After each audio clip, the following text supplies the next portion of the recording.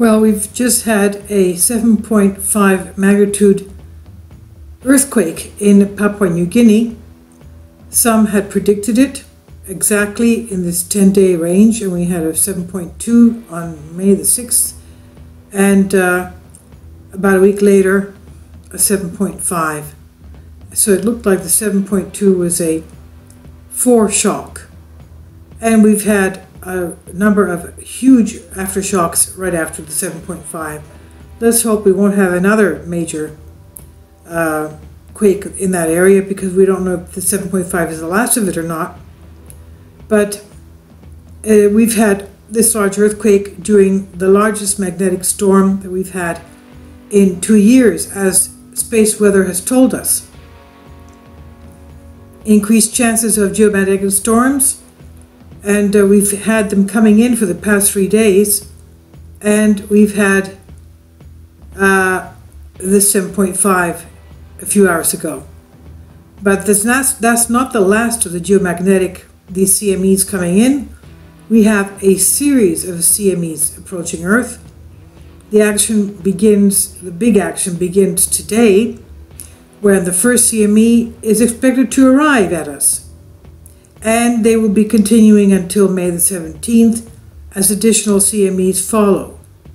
Storm levels will almost certainly reach category G1, which is minor, with isolated periods of G2 moderate storming as well.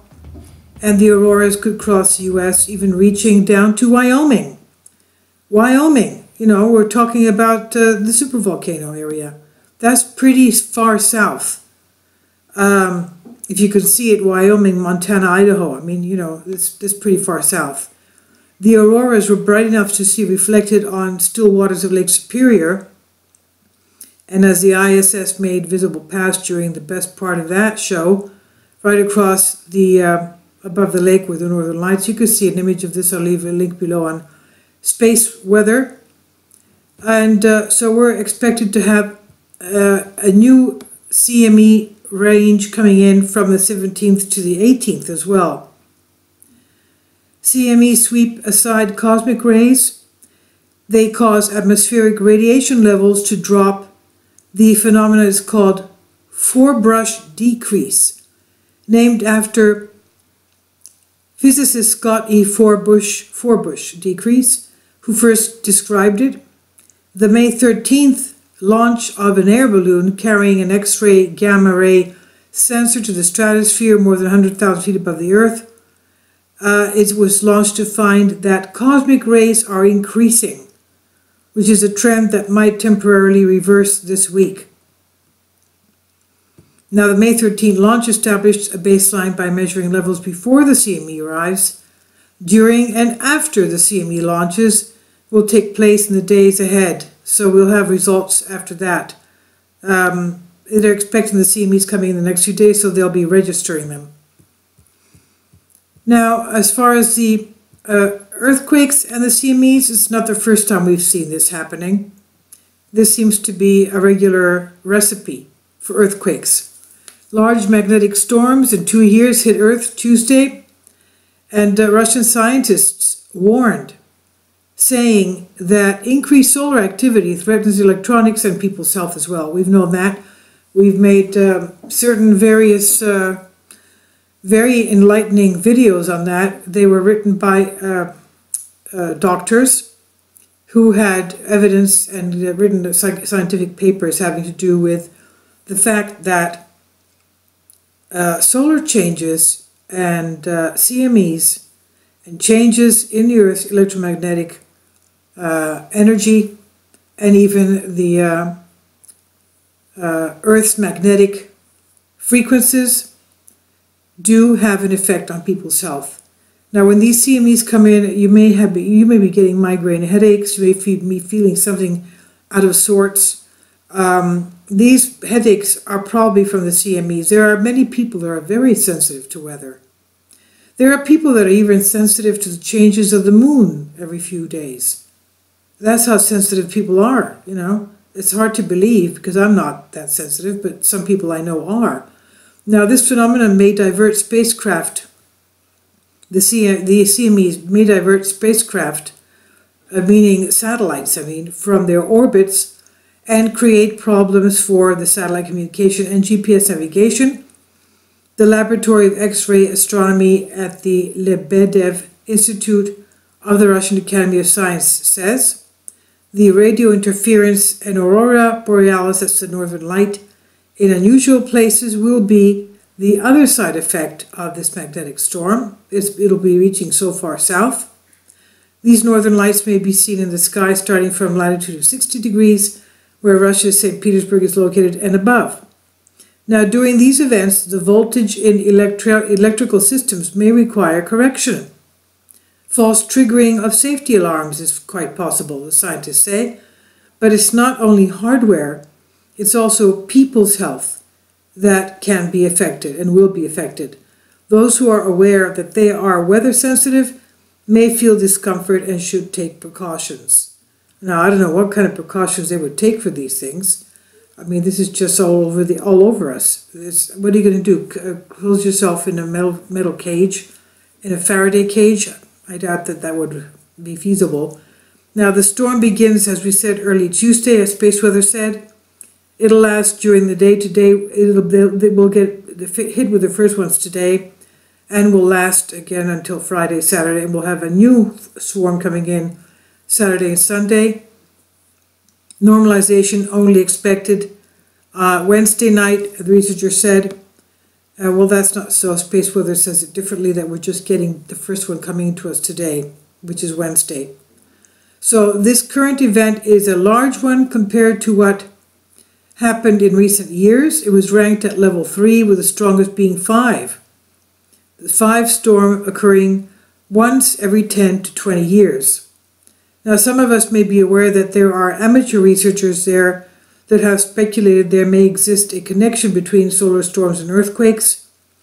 While presently there is not any official acceptance of this theory, someday as a strong solar storm, there may uh, the same day as the strong solar storm, there we had our 7.5 magnitude earthquake in Papua New Guinea.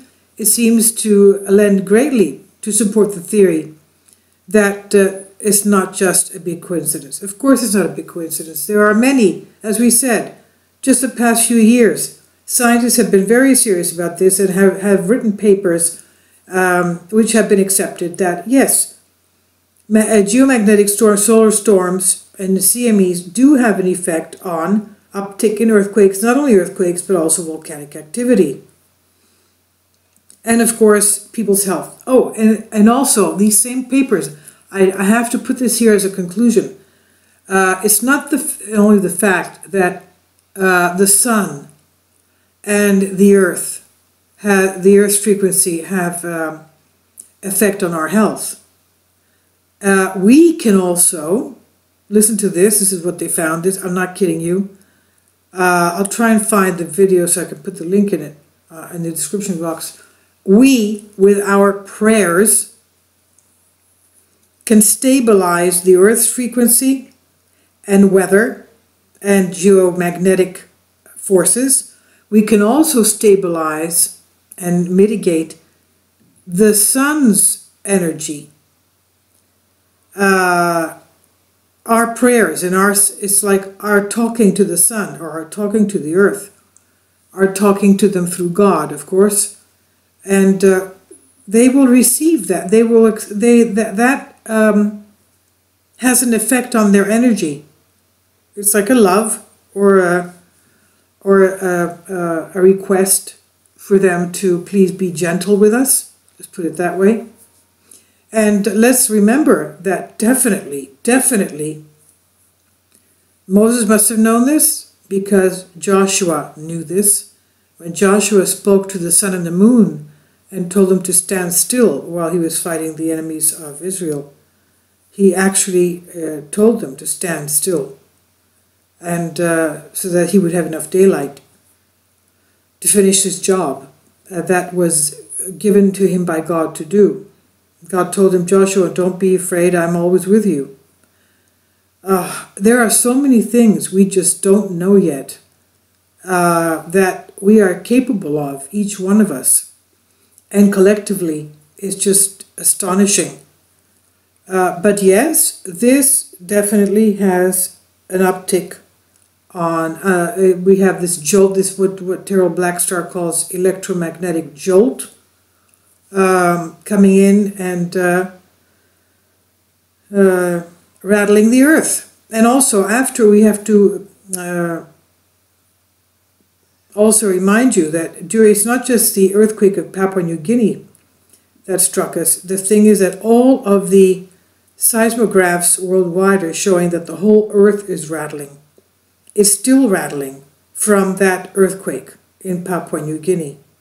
It is still rattling. All the um, um, helipods, the heliplots, sorry, I'll leave a link below for you for that too, are black with earthquake. Black. I mean, we're talking about uh, which one is a little bit white, is Pitcairn Island in South Pacific. There are some that have data not available, but they are, even in Spain, it's pitch black. Australia, Ecuador, uh, Midway Island, USA, Kazakhstan, Western Australia, Japan, Canary Islands. That's dangerous because they those area those are all volcanoes there. Um, Chile, Zambia in Africa, nor even Norway, Kenya, Ukraine, Hawaii. Well, Hawaii, okay, it's a hotspot anyway. Finland and Norway are blacked out. Afghanistan, Johnston Island, USA. Uh, what else? Uh, Republic of Korea. Uh, Hockley, Texas is blacked out. Mariana Islands, Grafenberg, Germany blacked out, Ethiopia blacked out, Armenia blacked out.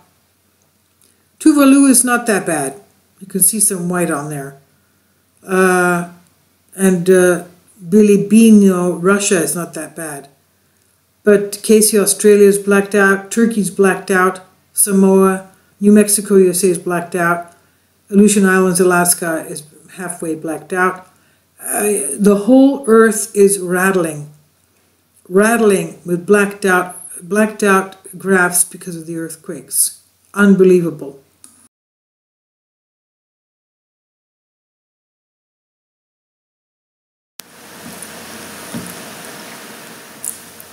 If you'd like to join me on my Patreon account, you will hear content not covered by mainstream media.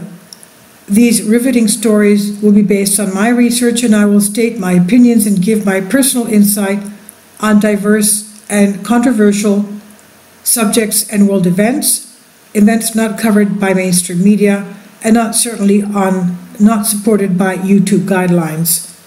So whatever I have on my Patreon, most of those will not be on my YouTube channel. Please consider becoming a member today more of the, the most significant and important videos will be on my Patreon channel. Your support helps me to continue my research and keeps this YouTube channel alive. And we depend on your support, your generous charity, because we help economically challenged families here in Athens, Greece, in Kapota, and we also help the young generation with university tuition and the community around our church. Thank you.